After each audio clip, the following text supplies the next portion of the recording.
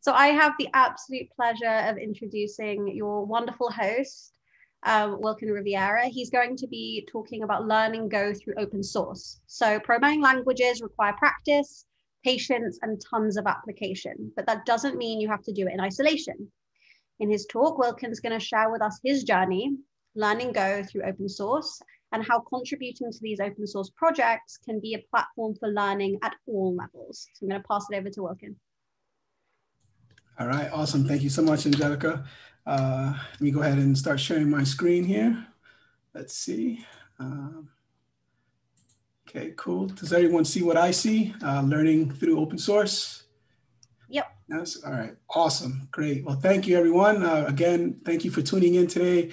Um, for those just joining in, my name is Wilken Rivera. Uh, my talk is uh, titled Learning Through Open Source. Originally, it was titled Learning Go Through Open Source, but after going through this whole journey, I realized I learned so much more than just Go. So I decided to change the title. Uh, today, I'll be sharing my experience. Oh, okay. Today, I'll be sharing my experience um, with um, learning Go through open source, specifically through a project called uh, Exercism, which we've heard of already. Um, and like I said, I'm a big fan of it. So um, for those that are joining in right now that may not be familiar with Exercism, you know, the, the short version is that it's an online platform for folks who are interested in programming to level up um, their skills through practice and mentoring. So if you haven't already checked it out, I do recommend it. Um, I hope to, in this talk, I hope to share my learnings, what I learned from this experience, and also uh, provide some tips on what I think, um, on how I think the open source community can be uh, a platform for learning. And I think someone early on, uh, and I apologize, I think it was Denise or maybe Dennis, I apologize if I got the pronunciation wrong, on how someone, you know, in the business, sort of constrained by business um, time, or yeah, with business constraints, how they can kind of level up or learn any language. So this might be something for you. All right. So a little about myself. Um, my name is Wilken Rivera. I'm based out of Miami, Florida, here in the United States. I am a, software, a senior software engineer at HashiCorp, working on the Packer project. Um, I spend most of my time writing uh, tooling for the cloud um, in Go. And when I'm not at work, I'm either reading, uh, working with the Go community, such as events like this, or spending lots of time with my family. I have two girls uh, that are very active. So a little heads up, you know, this talk um, is intended for folks with existing programming experience, and I'll explain why um, as we go through the talk, but it definitely is applicable to uh, first timers. So uh, don't feel like you have to tune out um, because there's some learnings that you can get from this, but I definitely recommend having at least experience with one programming language, Git, and are comfortable with reading other people's code. So quick overview of the talk, uh, why open source, my path to go, um, learning through open source, my takeaways, uh, how to get started for first timers, and then my closing slide. So the great question, why open source? So learning a new language is tough right? Um, especially when you don't have a consistent way of learning and sort of applying what you've learned. Um, they say that the right the the key to learning a, a, language is to sort of immerse yourself in it. Put yourself in situations where you're forced to interact with the language uh, to help improve your learning experience. And to be honest, like spoken languages, the same advice is applicable to learning a new programming language, a new programming language, like we heard in some of the previous talks. Uh, pro programming languages require a lot of practice, patience, and tons of application, but you don't have to do it alone. Uh, open source projects, I think, offer a wide sort of view into new communities, a virtual space, if you will, where folks of all walks of life can communicate, share ideas, opinions, uh, lessons learned, um, you know, and, and help each other grow within that space. Uh, yes, you know, it's true that there's a lot of development going on in that space, but really that's just a fraction of what's going on in the open source space. So a little about how I got started. Uh, I didn't start right off the bat in open source with Go, so I kind of walk you to that to that story. I'll walk you to that story. Sorry. Um, so I started off by attending Gotham Go. It's uh, Gotham Go for those that don't know. It's uh, New York's yearly conference. And I believe it started back in 2014. Uh, and I went to Gotham Go not knowing any Go at all. But a good friend of mine was um, into Go and he asked me to join. So I, I followed along. Um, at that conference, I definitely, you know, I was interested in learning Go. uh, a bit, um, but didn't really know where to start. So, um, know, I spent a lot of time on the train, sort of thinking. I lived in, uh, for a context, I lived in New York City then. Uh, I now live in Miami. I've been here a year, so uh, I spent a lot of time on the train, sort of thinking about what would I write, you know, and you know where to get started. So uh, I took the usual path that one takes: uh, the tour of Go, Go by examples, the Go programming book, Bill Kennedy's Go in Action book, uh, you know, a bunch of little exercises here and there. But I still had trouble immersing myself in the language, right? To be honest, Go was not something I was working with professionally, so finding projects and making time was a little hard. But in 2016, that's when I had my aha moment. You know, I attended Gotham Go for a second time and things changed. I had an opportunity to see the talk by um, Mind the Gap by Katrina Owen, and it's where she actually introduced uh, the Gotham Go to Exercism. Um, and it was at that moment that I was, I told my friend, like, oh, this is it. This is what I've been waiting for. So after Katrina's talk, I immediately signed up for Exercism and began working on solving the, go, the, the problems. Uh, this, so little context, Exercism at this time didn't have any mentorship or mentor or mentee uh, uh, aspect to it. It was just purely here a bunch of here a bunch of exercises. Go ahead and write the code. Uh, so I started very early on. Um, and uh, before Go, I was writing in Python and Ruby. So I spent some time, you know, on the exercises, writing them in Ruby first, and then translating them into Go to kind of help me build that confidence that, hey, I can solve this problem. Um, I carved out, you know, uh, I had one child then. She was she was about three, so I carved out my weekends, a 7 to 10 a.m. slot in the morning, um, where I would go to my local coffee shop. For those that are in New York, there's this coffee shop in Forest Hills called Martha's Martha's Bakery highly recommend it. Uh, you can just tell them you know me; they'll take care of you. Um, and and every Tuesday night, I would you know write some Go code. So um, during the weekend and during the you know on Tuesdays, I was all pure Go, and um, it was something that just like I couldn't get enough of. I was really hooked, right? So um, which really is sort of the the predecessor to or the yeah the, to to to the motivation, I guess, to to the next part of this journey, which I was really curious about Exercism, right? So I've contributed to open source prior to this, but really small. Um, it was again, it was in Ruby, um, and it was you know just writing tests, or you know, I'm say just writing tests, but it was adding tests to a project. So I was already familiar with uh, contributing to open source, and we use GitHub at the office, so I was really familiar with that. So um, you know, I was really curious about Exercism and I thought, oh, maybe I could help. You know, I can learn a little more by contributing. So I introduced myself to Katrina Owen. Um, I'm not going to lie, I was a little nervous there, just sending uh, an email, but she seemed very friendly when I met her at Gotham Go. Um, so she gladly responded and pointed me to a few good issues under the CLI repo and the contributing guide. And, and after reading through those guides and getting myself familiar with the code base, I opened up my first official PR, you know, my first official Go PR, um, which took me a little bit to submit, but I submitted it. And that PR is sort of uh, had 47 comments. And I think there was so much within that one PR that really just sort of set the tone for the rest of my journey and um, and and the things that I value now as an open source maintainer. So my first thing is really in a Go specific way. I learned about testing after my first PR. You know, I, I say I waited, you know, just refreshing for the for the uh, for the code review to come through. Yeah, I know that you get notifications on GitHub, but you know I was I was very eager to see what comes through the wire. Uh, so um, got my first review, and it was a really kind review, um, and provided lots of guidance. You know, um, one of them starting with testing.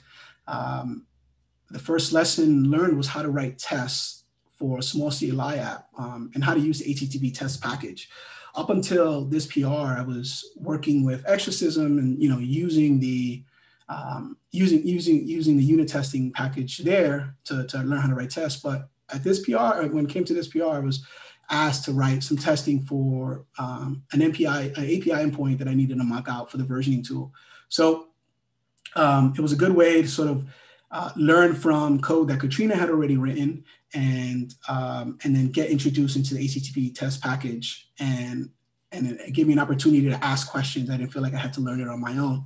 Um, you know, so with that, I think you know one of one of my biggest sort of recommendations when coming across a new code base is always start with the test. Take a look at what is being tested, trying to get a, an idea of how to um, you know how the code how the how the functions or or the various types you know are being leveraged. And i think that's a good way to sort of introduce yourself into the code base.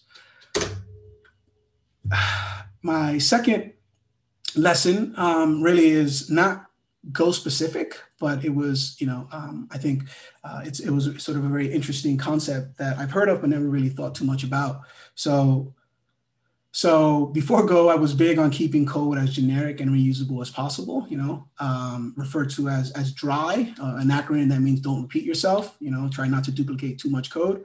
Um, and, you know, there's nothing wrong with keeping things dry, but sometimes being dry or too dry can make things a little harder than they need to be. So from this comment that I got from Katrina, you know, I went down the path of undrying my code, if you will, and learned a little more about Go's philosophy on writing simple and effective, you know, maintainable programs with the idea that hey, a little a little duplication is okay, um, you know. And I definitely learned uh, this, you know, big tidbit was if you see someone's code and there's a lot of duplication throughout it, really try to understand why it was duplicated before trying to dry it up, right? Try to try to gain as much context as you can before you start uh, changing things.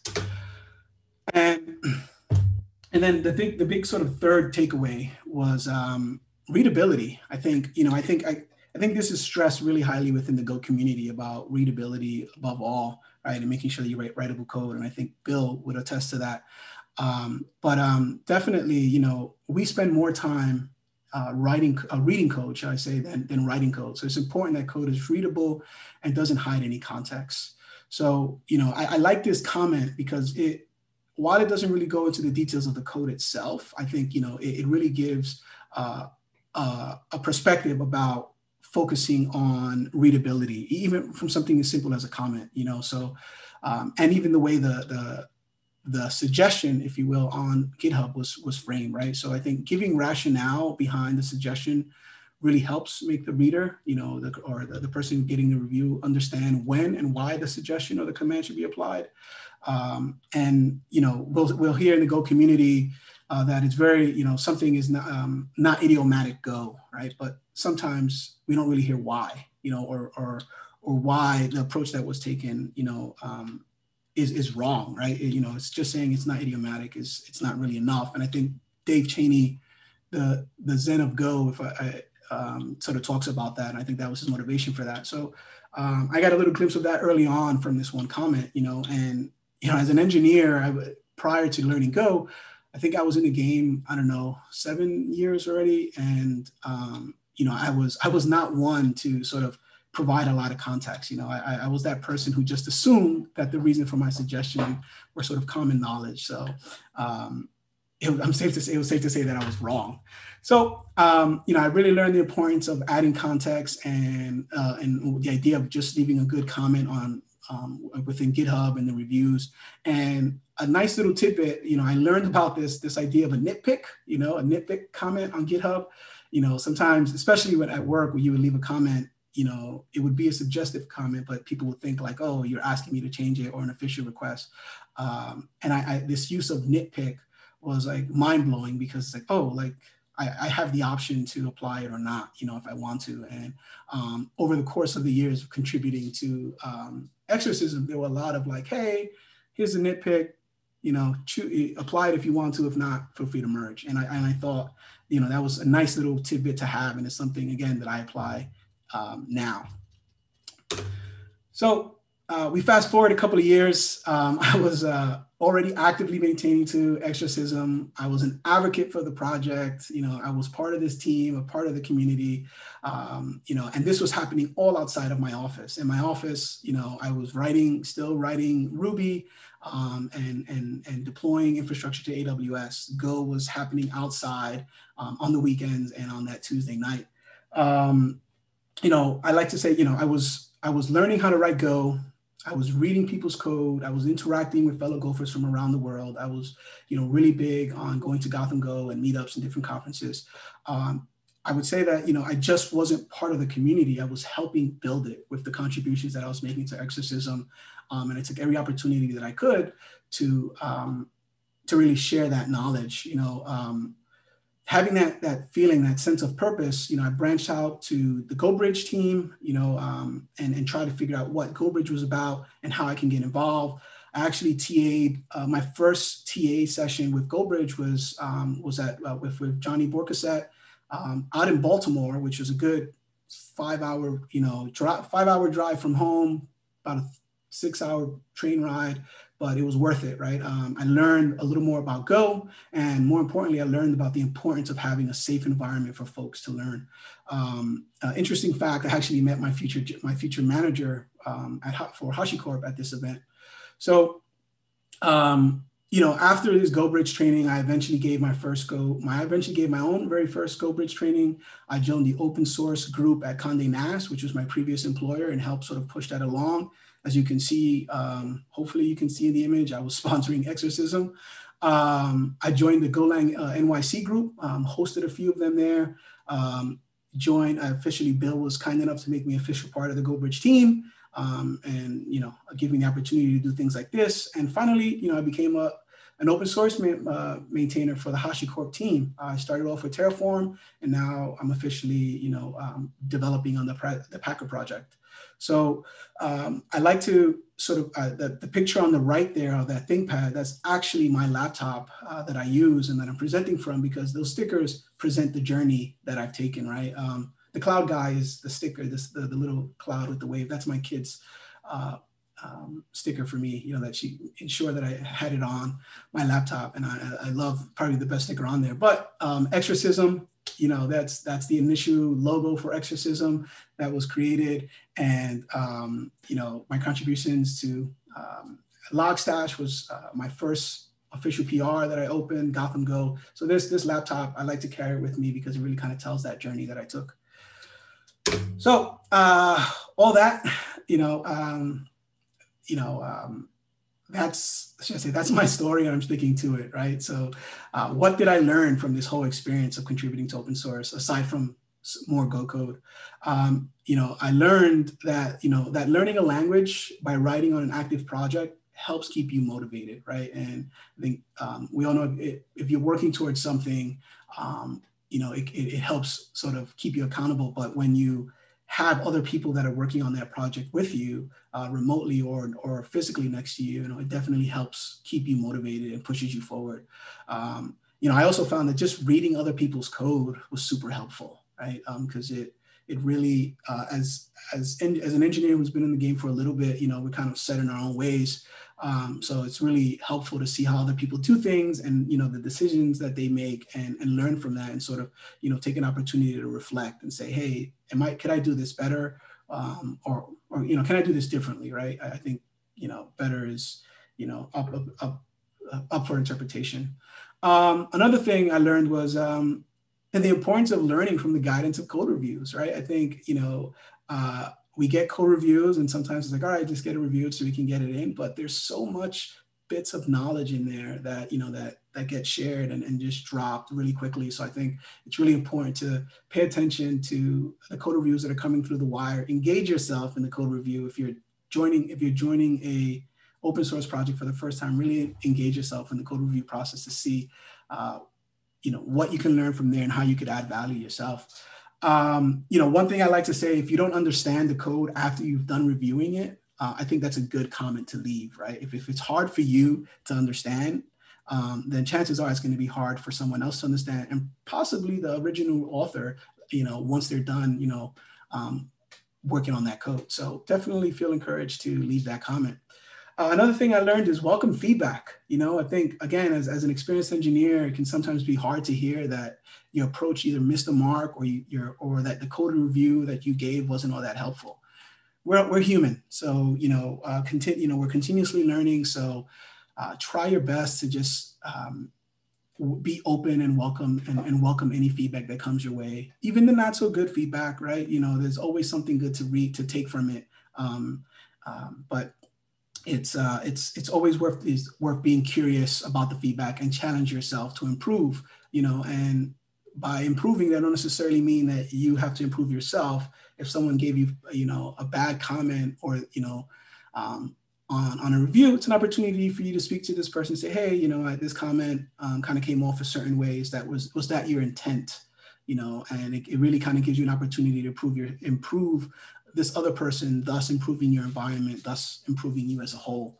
Um, and I think the last thing, you know, which sort of ties into that last point was really, I learned to be kind, right? Uh, to quote Ryan, to, to quote Rodney Dangerfield, it's hard out there. So, you know, it's always good to seek to be kind and open in your interactions and help foster uh, a really safe and encouraging environment, right? You know, uh, taking taking a step like putting out a comment or a code into the internet and not knowing what's going to happen to it, um, it's, it's daunting. But um, you know, it doesn't mean that the experience has to be unpleasant. So, um, and I think that starts with you being kind, you know, and then you uh, trying to ensure that the folks that you're interacting with are being just as kind, if not kinder. Um, and you know, I will say that your interactions in the open source world can prove very fruitful in, uh, for future endeavors. So, um, you know, treat it as you would anything else you would um, in your life that you want to be a part of.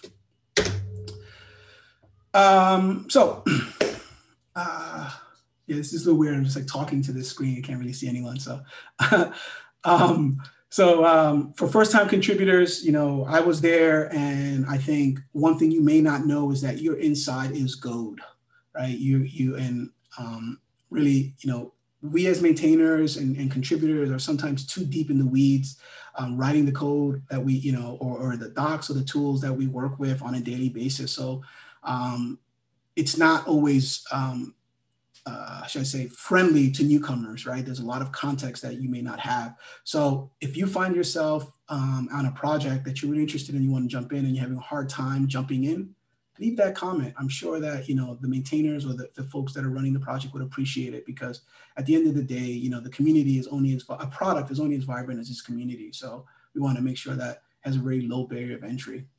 Um, you know, um, with that, I say the same holds true for docs, you know, documentation, you know, if you want to start there, if you're not quite ready for the code and you start a documentation, you know, take a, um, if something seems incorrect or incomplete, leave a question, post, you know, post a comment.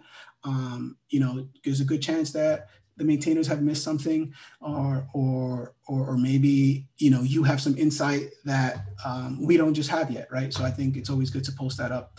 Uh, again, same holds true for features. You know, I, I, I you know, we find a lot of a lot of comments on, on the Packer project that sort of come our way where we have the feature documented one way, but it behaves differently, right? Um, and sometimes that may seem like a bug, um, but it turns out the docs just weren't updated, right? So that's an opportunity for you to contribute, an opportunity for you to meet the team, right? And I think I, I say the team because I think anytime you contribute to open source, you have the potential to start working with a new team. So you want to treat it that way, right? You are essentially helping these folks uh, better their product and better uh, your user experience. So think about the features that you come across. Do they work differently? Have things changed? If you happen to know Azure, for example, has changed their upstream API and you know we're using something different, please speak up. I think that's super helpful. Um, and you know, I, I, would say that learning, um, you know, I, I kind of mentioned this before. It's it helps if you have experience with a programming language or comfortable with reading other people's code, uh, because it definitely it helps you sort of get started. But um, if you are learning how to program through open source for the first time, you know, that can be a little tough, right? Um, especially if you select a very active project. But you know, I don't think that it should stop you from contributing right? Um, I'm going to talk about some of the tips on how to get started. And I think if you use those tips, it could help you start to level up uh, a bit on the project, on the language. And then also, I really encourage you to take events like this, right? Reach out, the people that are here at this meetup, reach out to them. This is, you know, this is your community. Start the opportunity to network and see how it is that you can learn from them and vice versa, right? Like I said, insight, uh, the beginner's insight is always gold. So there's lots of opportunity to learn. So um, feel free to ask questions, you know, and and and uh, and, and just po- and um, leave comments, right? Nice comments, please, but uh, definitely ask questions because there's no such thing as a stupid question. Um, with that, I'll say this: I say contributing to open source can be very intimidating, uh, especially when you don't know where uh, what to expect, right? So this is where just reading active or recently closed pull requests can help, right? You get a sense, you can get a sense of what the communication uh, is like on this project, um, you know, and you could um, get get a sense for the for the for the people involved, right? But um, you know, the truth of the matter there is that open source projects are not all the same. Some are really good to be a part of, kind. There's a lot to learn, and some are not. You know, but I think uh, one piece of advice I like to give when you open source is that if you find yourself on a project that you're not really happy with, or you you know by happy I mean you, feel like you're not learning, or the, con- the contributing aspect doesn't seem all that nice or you know conducive to, to motivate you, um, congratulations, right? You just sort of learned what project you don't want to be a part of or where you what environment you don't want you know um, maybe congratulations is a, is a strong word but it's definitely a learning opportunity you know because you, you get to see what you don't like and you know when if that happens definitely take the opportunity to say thanks uh, to the maintainers for the time and then and move on and you can start somewhere else right? That's the beauty of the open source communities. There's so many of them and you know you can you can get your foot your feet wet in any you know in any project um, and you know in various different ways. So uh, highly encouraged to to reach out and try to get involved um, for those that are inspired and want to get started on the open source side um, definitely try to start by finding one or two projects of interest preferably something that has a small footprint. You know uh, i think the more code the more context you kind of need to have to get to get um, acclimated. So i think if you start small that'll be great. And if you're a big if you're a fan of a big project that's okay. I think just try to narrow down the scope of, of the contribution to kind of help you keep focused and reduce the time spent on the context you know um, you know it's like as john said it's about you know the journey um, to the destination right uh, uh, i'm sure I apologize, John. I'm sure I got that wrong, but it's about it's about the journey, right? More so than destination, and things will happen slowly over time.